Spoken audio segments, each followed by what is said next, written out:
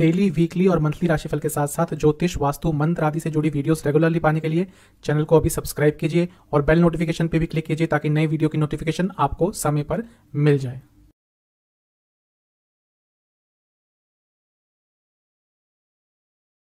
ओम गणेशाय नमः, ओम नमः शिवाय। मैं निखिल ज्योतिष आचार्य, आप सभी का मेरे चैनल पे पुनः स्वागत करता हूँ। आशा करता हूँ आप सभी स्वस्थ होंगे। महादेव की कृपा आप सभी पर सदैव बनी रहे। क्या वीडियो है कुंभ यानी कि एक्वेरियस के? जुलाई 2022 के। मंथली राशिफल के बारे में। कहाँ से देखें राशिफल? यदि आपको अपना लग्न पता है तो लग्न से ही इस राशिफल को देखें। अच्छे रिज़ल्ट मिलेंगे।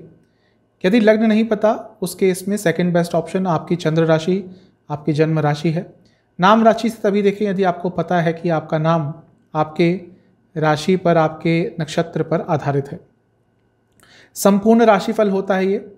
आपके जीवन के जितने भी प्रमुख एस्पेक्ट्स हैं जनरल प्रिडिक्शन कौन कौन से योग बन रहे हैं career business love life married life finances students health इन सबको इसमें कवर किया जाता है। वीडियो के अंत में एक उपाय भी बताया जाता है, जिसके करने से आपके लिए कुछ सकारात्मक प्रभाव अवश्य होंगे। तो शुरुआत करते हैं। एक्वेरियस के लिए कैसा रहेगा जुलाई 2022 इस राशिफल का जनरल प्रिडिक्शंस के साथ? शुरुआत करते हैं जनरल प्रिडिक्शंस के साथ। सबसे पहले लग्न को देखेंगे। लग्न में शनि महाराज बैठे रहेंगे और क्योंकि लग्न के ही स्वामी है तो राजयोग बनेगा और पंच महापुरुष योग, जिसका नाम सस होता है, वो बनेगा। और 12 तारीख तक शनि महाराज यहीं पे रहेंगे, फिर पतित होकर गिर जाएँगे वापस मकर में। उसके बाद भी आपके लिए विपरीत राजयोग बनाएँगे, लेकिन सेहत का ध्यान रखिएगा इस महीने, क्योंकि लग्न के स्वामी पतित हो रहे हैं तो थोड़ा सा नकारात्मक प्रभाव सेहत पर पड़ सकता है। केतु का प्रभाव रहेगा लग्न में क्योंकि नवम स्थान में बैठे हैं। तो थोड़ा सा डिटैच रहेंगे इस महीने, ज़्यादा लोगों से बातचीत करने का मन नहीं करेगा। थोड़ा अपने में खोए रहेंगे, अध्यात्म की तरफ़ स्पिरिचुअलिटी की तरफ़ ज़्यादा जाते हुए दिख रहे हैं। इसको छोड़कर और किसी ग्रह का प्रभाव नहीं रहेगा लग्न पर। लग्न के स्वामी जब आपके बारहवें स्थान में आ जाएँगे, बारह तारीख को तो उसके बाद सूर्य का राशि परिवर्तन होगा पंद्रह तारीख को। उसके बाद सूर्य और शनि महाराज आमने सामने होंगे तो वो थोड़ा विचलित करने वाला समय होगा, क्योंकि जब भी सूर्य और शनि आमने सामने आते हैं स्पेशली मकर और कुंभ लगने के लिए, थोड़ा प्रॉब्लमेटिक समय होता है, क्योंकि दोनों के आपस में बहुत बनती नहीं। बाप बेटे का रिश्ता है, लेकिन जो संबंध है दोनों के, वो बहुत अच्छे नहीं। तो थोड़ी बहुत प्रॉब्लम पंद्रह तारीख के बाद हो सकती है। प्रोफेशनल लाइफ में और पर्सनल लाइफ दोनों में ही थोड़ी बहुत सेंसिटिविटी थोड़ी बहुत ऐसी चीज़ें हो सकती हैं जो आपको थोड़ा सा विचलित कर दे। फिर भी शनि महाराज क्योंकि वक्री हैं तो 12 तारीख तक तो आपके जीवन में कुछ सकारात्मक हो सकता है और आपके अंदर काफ़ी बल भी रहेगा। कुछ विशेष करते हैं जो आपके लिए इस महीने बन रहे हैं। मालव्य योग बनेगा, जो पंच महापुरुष योग में से एक है, वो बनता है शुक्र द्वारा। और वो तेरह तारीख तक आपके चौथे स्थान पर बना रहेगा। ये अच्छा है, लग्जरी के लिए, वाहन के लिए, घर के लिए, प्रॉपर्टी के लिए ये अच्छा योग है।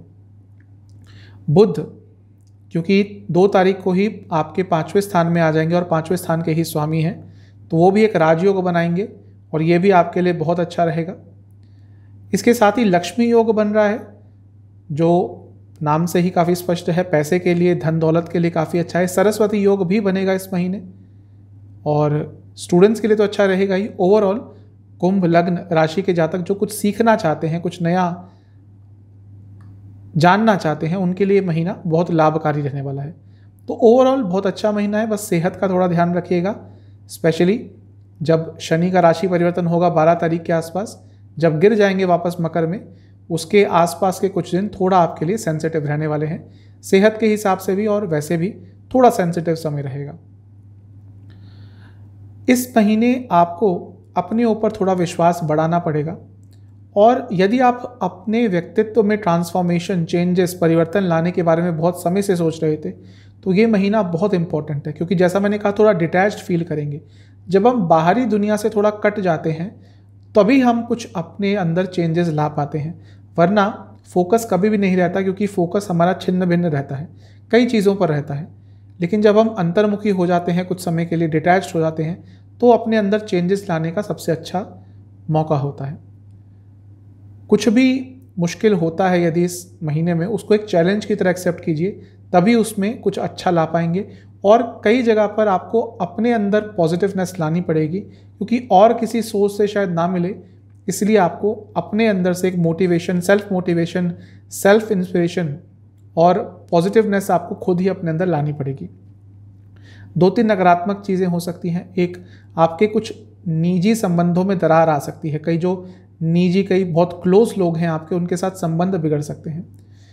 कोई अपॉर्चुनिटी आपके हाथ से बहुत पास से निकल सकती है और वो भी आपको बहुत विचलित करेगी। हो सकता है घर के किसी बड़े की तबीयत भी थोड़ी ख़राब हो जाए और उसके कारण भी थोड़ी प्रॉब्लम आपको फेस करनी पड़ेगी। महीने का जो शुरुआती भाग है, इसमें अपने ऊपर कभी कभी डाउट आएगा, लेकिन कई विघ्न भी इस समय में दूर हो सकते हैं।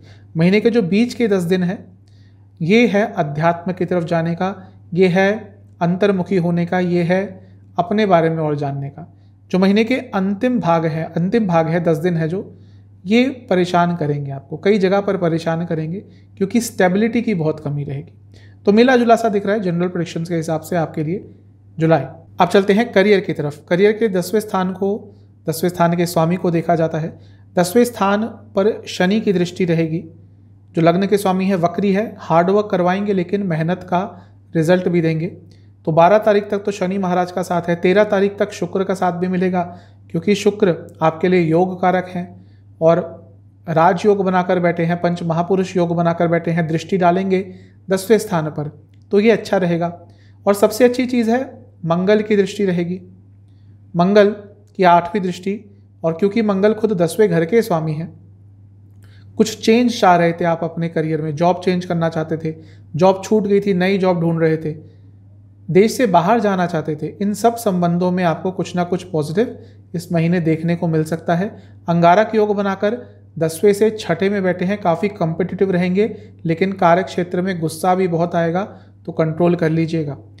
बृहस्पति की भी नवी दृष्टि दसवें स्थान पर पड़ेगी, क्योंकि बृहस्पति धन स्थान में होंगे तो ये जो महीना है कार्य क्षेत्र से पैसा भी बहुत आएगा, कुछ इंक्रीमेंट आदि रुके हुए थे तो वो बहुत आराम से मिल जाएँगे। और सैलरी में वृद्धि चाहते थे प्रमोशन चाहते थे, इन सब संबंधों में भी आपको कुछ ना कुछ सकारात्मक देखने को मिल सकता है। अच्छी स्थिति दिख रही है करियर के हिसाब से, इस महीने का आपको लाभ अवश्य उठाना है। काफ़ी साहसी रखेंगे साहसी रहेंगे साहस रखेंगे स्टेबिलिटी आती हुई दिख रही है इस महीने आपके करियर में, भाग्य का साथ मिलेगा और अपने सीनियर्स का, अपनी मैनेजमेंट का भी साथ मिलेगा। आपकी कोई इच्छा थी आपके कार्य क्षेत्र के संबंध में, वो पूरी हो सकती है और कुछ बहुत नया भी जान सकते हैं अपने करियर के बारे में। हो सकता है अपने स्किल को एनहेंस करने के लिए कुछ नया सीखे, कोई नया कोर्स ज्वाइन करें। आजकल जो बड़ी बड़ी एम होती हैं, वो अपने एम्प्लॉयज़ को ऑन द जॉब ही कुछ नया कोर्स दे देती हैं, कुछ नया सीखने का मौका देती हैं। तो ऐसा यदि आपके पास कोई मौका आता है तो आपको उस मौके का अवश्य फ़ायदा उठाना चाहिए। बहुत अच्छा महीना दिख रहा है जॉब के लिए, लाभ होगा, चौतरफा लाभ होगा, आगे बढ़ेंगे, नई अपॉर्चुनिटीज़ आएँगी दो तीन नकारात्मक चीज़ें हैं, उनका ध्यान रखना है। इमोशंस का प्रयोग मत कीजिएगा कार्य क्षेत्र में, वो बहुत ही नकारात्मक प्रभाव डालेगा। आप कुछ कार्य बहुत डिले करेंगे, वो भी नकारात्मक प्रभाव डालेगा। कुछ भी डिले नहीं करना इसके साथ ही, कुछ भी अधूरा नहीं छोड़ना या किसी, अपनी रिस्पॉन्सिबिलिटी किसी और पे मत दे दीजिएगा, भले ही वो आपसे कितना भी क्लोज हो। ये चीज़ें यदि आपने करी तो नकारात्मक प्रभाव रहेगा। महीने का जो शुरुआती भाग है, जो मेहनत कर रहे थे उसके अच्छे परिणाम मिलेंगे। महीने के बीच के भाग में एक लीडर बन के उभरने का आपको मौका मिल सकता है स्पेशली कॉरपोरेट सेक्टर में। जो महीने का अंतिम भाग है कि आपको अपने करियर के बारे में और जानने का मौका देगा और आप प्लानिंग कर पाएँगे कि आने वाले दो साल में, एक साल में कहाँ आप अपने आप को देखते हैं करियर के हिसाब से। महीना बहुत अच्छा है। यदि आप टूरिज़्म सेक्टर से जुड़ा फ़ैशन से जुड़ा, कोई कलात्मक काम करते हैं आर्टिस्टिक काम करते हैं, या फिर आप टीचिंग से जुड़ा कुछ काम करते हैं तो ये पूरा महीना आपके लिए बहुत अच्छा है। अब चलते हैं बिज़नेस की तरफ़। बिज़नेस के लिए सातवें स्थान को देखा जाता है, सातवें स्थान के स्वामी को देखा जाता है। सातवें स्थान पर लग्न के स्वामी की दृष्टि रहेगी। वक्री होंगे। बारह तारीख तक यहीं पे बैठेंगे, यानी कि लग्न में। तो सपोर्ट मिलेगा बारह तारीख तक। मेहनत बहुत करनी पड़ेगी। वक्री शनि है, लेकिन बहुत अच्छे रिज़ल्ट आपको बिज़नेस में मिल सकते हैं। क्योंकि सप्तम से अष्टम में बृहस्पति हैं, जो अपनी ही राशि में है। धन स्थान में है तो इस महीने बिज़नेस में पैसा भी बहुत आएगा। जो सातवें घर के स्वामी हैं, यानी कि सूर्य महाराज, वो महीने के शुरुआती पंद्रह दिन तक रहेंगे अपने से ग्यारहवें में, यानी कि मिथुन में। तो वहाँ तक समय बहुत अच्छा रहेगा। ये मान लीजिए, जो महीने का शुरुआती आधा भाग है, पंद्रह तारीख तक का, वो आपके बिज़नेस में बहुत अच्छा है। उसके बाद क्योंकि सूर्य, जो सातवें स्थान के स्वामी है, वो सातवें से बारहवें में, यानी कि लग्न से छठे में आ जाएँगे। और वहाँ पर थोड़ी प्रॉब्लम हो सकती है, खर्चे बढ़ सकते हैं गवर्नमेंट से कोई प्रॉब्लम आ सकती है लॉसेस हो सकते हैं, काम अटक सकते हैं। लेकिन फिर भी इतना नकारात्मक नहीं होगा, क्योंकि सप्तम से अष्टम में बृहस्पति बैठे रहेंगे तो चीज़ें थोड़ी अनस्टेबल अवश्य होंगी, लेकिन उन सब में बहुत हद तक आप काबू पा लेंगे। लेकिन तब भी कोशिश कीजिएगा कि चीज़ों को सिंपल रखें, ज़्यादा रिस्क ना लें पंद्रह तारीख के बाद। ये महीना आपको अपने पास्ट नेगेटिव एक्सपीरियंस से निकल कर कुछ नया करना पड़ेगा अपने बिज़नेस में, तभी कुछ अच्छा प्राप्त कर पाएँगे। लेकिन दिख रहा है कि इस महीने कई ऐसे मौके आएँगे जब आपको लाभ होगा, पैसे का लाभ होगा, आपके बिज़नेस की गुडविल बढ़ेगी, आप काफ़ी ऊर्जात्मक रहेंगे और उस ऊर्जा का आप बहुत अच्छी तरह से यूज़ कर सकते हैं। यूटिलाइजेशन करते हैं, कर सकते हैं अपने बिज़नेस में। बहुत क्रिएटिव रहने वाले हैं आप इस महीने और उस क्रिएटिविटी का भरपूर प्रयोग करेंगे अपने बिज़नेस को और आगे लेके जाने के लिए। दो तीन नकारात्मक पॉइंट्स हैं, उनका ध्यान दीजिएगा। कभी कभी बहुत आगे जब हम बिज़नेस में बढ़ जाते हैं तो बिज़नेस के जो बेसिक्स होते हैं, वो भूल जाते हैं और वही एक नेगेटिव इम्पैक्ट डालेगा। दोबारा अपने बिज़नेस के बेसिक्स ब्रशअप कीजिएगा। इसके साथ ही कोई भी छोटी मोटी चीज़ को छोटा मोटा नहीं समझना। कोई छोटा मोटा दुश्मन हो, कोई काम छोटा मोटा अटक गया हो, ये शुरू में आपको छोटे मोटे लगेंगे, बाद में यही चीज़ एक विकराल रूप ले सकते हैं। तो किसी भी चीज़ को इग्नोर नहीं करना, जो भी आपके नज़रों के सामने आए, उस चीज़ को उसी समय सॉल्व कर लेना, वरना प्रॉब्लम होगी। ऐसा लग रहा है कि कोई कानूनी संबंधित आपका काम अटक रहा था, या तो नोटिस आया हुआ था इनकम टैक्स का नोटिस आ गया, किसी और चीज़ का नोटिस आ गया। और वो आपने लाइटली ले लिया। हो सकता है उसके संबंध में भी इस महीने आपको कोई प्रॉब्लम झेलने को पड़े। जो महीने का शुरुआती भाग है, इसमें ऊर्जा बहुत रहेगी और उसको आप बहुत अच्छी तरह से यूटिलाइज कर पाएँगे। जो महीने का बीच का भाग है, इसमें कंपटीशन का लेवल रहेगा। आपके प्रतिद्वंदी आपके खिलाफ कुछ करने का प्रयास अवश्य करेंगे। जो महीने का अंतिम भाग है, ये अच्छा है। यहाँ पर भाग्य का कई जगह साथ आपको अवश्य मिलेगा। यदि आप पूजा पाठ के से, पूजा पाठ से जुड़ा सामान का कोई बिज़नेस करते हैं यदि आप गारमेंट से जुड़ा कोई बिज़नेस करते हैं, यदि आप आईटी से जुड़ा कोई बिज़नेस करते हैं, या फिर यदि आप एंटरटेनमेंट इंडस्ट्री से जुड़ा कोई भी बिज़नेस करते हैं, ये पूरा महीना काफ़ी लाभकारी है। आप चलते हैं फाइनेंसेस इन्वेस्टमेंट एक्सपेंसेस की तरफ़। ये महीना ओवरऑल आपके लिए पैसे के हिसाब से अच्छा दिख रहा है। क्यों? क्योंकि धन भाव के स्वामी बृहस्पति धन भाव में ही रहेंगे और वही आपके लाभ स्थान के स्वामी हैं।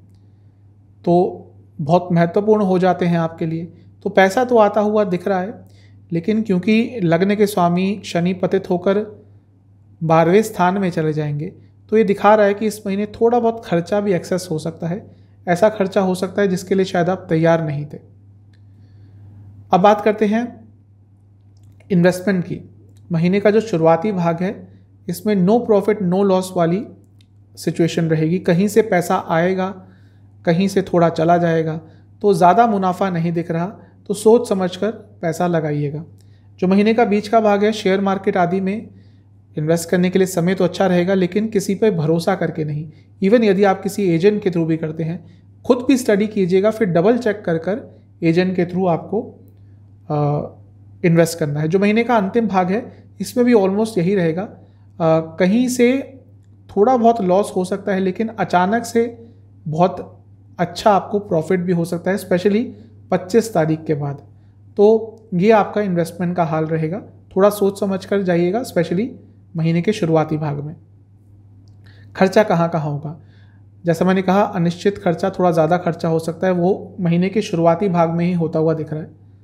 शुरुआती भाग में अनिश्चित खर्चा होगा, अनियमित खर्चा होगा, और घर पर भी खर्चा होगा। घर के या तो रेनोवेशन पर या कुछ तोड़ फोड़ हो गई होगी उस पर कुछ रिपेयर कराना हो उस पर, गाड़ी पर भी, वाहन पर भी खर्चा महीने के शुरुआती भाग में होगा। महीने के बीच के भाग में थोड़ा बहुत कंट्रोल आएगा, लेकिन सेहत पर थोड़ा खर्चा होगा, सेहत को इम्प्रूव करने पर खर्चा होगा। जो महीने का अंतिम भाग है, इसमें आउटिंग्स पर डिनर्स पर घर की ग्रॉसरीज पर कुछ ज़्यादा ही खर्चा हो जाएगा और इसके साथ ही हो सकता है आप कहीं प्रॉपर्टी भी लेना चाह रहे हो तो वहाँ पर भी थोड़ा पैसा जाता हुआ दिख रहा है, लेकिन उसको खर्चा नहीं कह सकते।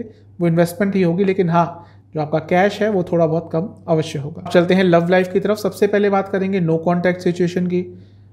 जो लोग थोड़ा सा प्रयास करेंगे चीज़ों को ठीक करने का, प्रयत्न करेंगे, एक ड्राइव रहेगी जिनके अंदर, जो बहुत एफर्ट्स डालेंगे, उनके लिए थोड़ा बहुत चांस है कि शायद महीने के बीच के समय तक आते आते आपका जो नो कॉन्टैक्ट सिचुएशन है, वो ठीक हो जाएगी। और दोबारा बातचीत स्टार्ट हो जाएगी। और इसके साथ ही चीज़ें यदि ठीक हो गई तो वो सफलता से आगे बढ़ेंगी। लेकिन अगर बीच के समय तक, महीने के बीच के भाग तक नहीं होती चीज़ें ठीक तो थोड़ा मुश्किल हो जाएगा। नया रिलेशनशिप स्टार्ट करने के लिए अच्छा महीना है। नई संभावनाएँ आपके लिए खुलेंगी, नई पॉसिबिलिटीज़ आपके लिए होंगी। और अपने व्यवहार में यदि आपने सौम्यता रखी, थोड़ा आपके अंदर आकर्षण रहा आप समझ पाए कि आपके पर्सपेक्टिव पार्टनर को आप में क्या समझ आ रहा है और आपने वही अपना पार्ट ज़्यादा रिफ्लेक्ट किया तो आपके लिए चांसेस हैं कि इस महीने आपका नया रिलेशनशिप स्टार्ट हो सकता है। अब चलते हैं जो लोग ऑलरेडी रिलेशनशिप में है। पाँचवें स्थान को देखा जाता है। वहाँ पर सूर्य का होना पंद्रह तारीख तक बहुत अच्छा तो रिज़ल्ट नहीं देगा। कुछ ना कुछ प्रॉब्लम आ सकती है, क्योंकि सूर्य का प्रभाव लव लाइफ मैरिड लाइफ के लिए थोड़ा सा नकारात्मक होता है। बुद्ध आ जाएँगे, बुद्ध आतिथ्य योग बन जाएगा महीने के शुरुआत में ही। तो थोड़ा बहुत वहाँ से रिलीफ मिलेगा क्योंकि बुद्ध पाँचवें स्थान के ही स्वामी हैं।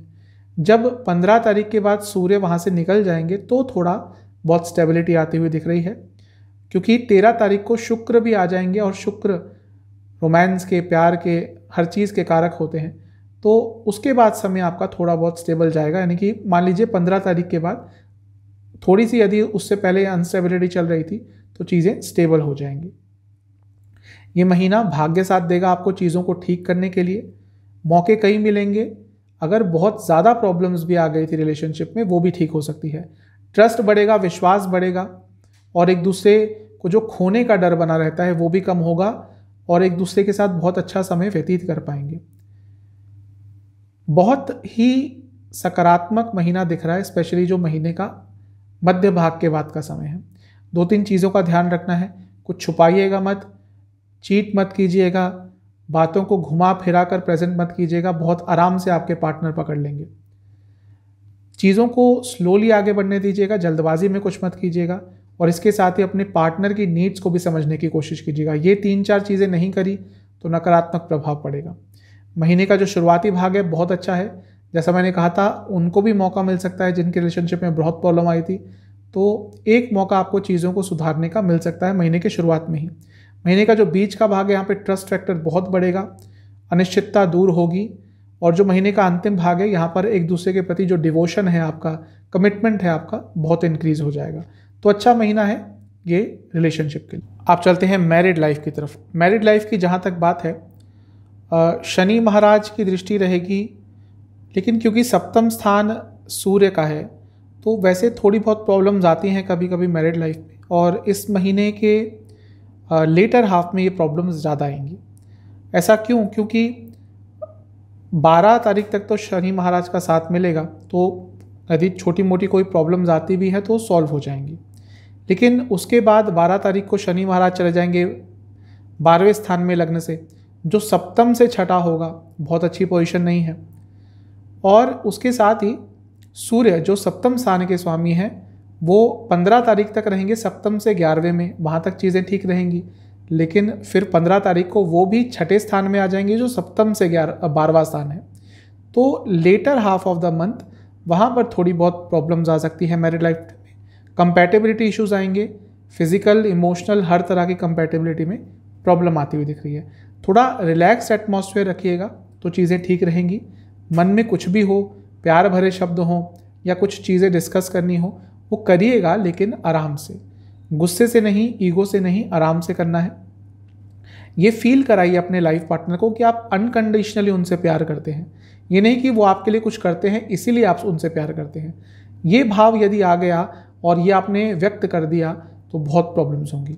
ज़्यादा प्रॉब्लम यदि चलती हैं, शुरू होती हैं तो कॉमन फ्रेंड्स का घर वालों का साथ ले सकते हैं चीज़ों को। सॉर्ट आउट करने के लिए। या आजकल तो प्रोफेशनल कंसल्टेशंस भी अवेलेबल है तो वो भी आप कर सकते हैं। जो भी है, यदि आपने ये महीना सुचारू रूप से चला लिया तो आपका वैवाहिक जीवन आगे चलकर और स्टेबल ही होगा। दो तीन नकारात्मक पॉइंट्स हैं। जैसा मैंने शुरू में कहा रिलैक्स रहिएगा। यदि वो आप नहीं रह पाए एंशियस ज़्यादा हो गए तो उसका नकारात्मक प्रभाव पड़ेगा। इमोशनल बहाव में आकर कुछ गलत शब्दों का प्रयोग कर सकते हैं। ये मत कीजिएगा। और प्रायोरिटी नहीं रखने के कारण अपने अपने लाइफ पार्टनर को। बाकी चीज़ों में ज़्यादा लिप्त रहने के कारण थोड़ी बहुत प्रॉब्लम हो सकती है। तो इन तीन चार चीज़ों का आपने ध्यान रखना है। जो महीने का शुरुआती भाग है, इसमें थोड़ा ज़्यादा मेहनत करनी पड़ेगी मैरिड लाइफ को बचाने के लिए। जो महीने का बीच का भाग है, इसमें इच्छाएँ बहुत बढ़ जाएँगी दोनों ही साइड से और उसके कारण थोड़ी प्रॉब्लम हो सकती है।